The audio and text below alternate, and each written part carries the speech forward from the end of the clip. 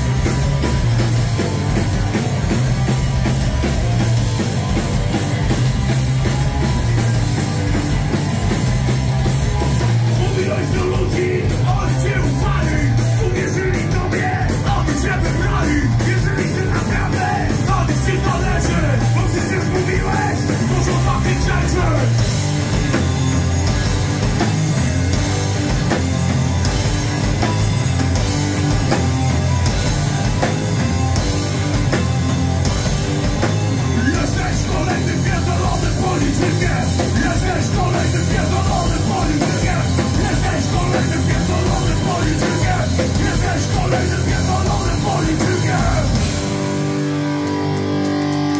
Dzięki wielkie!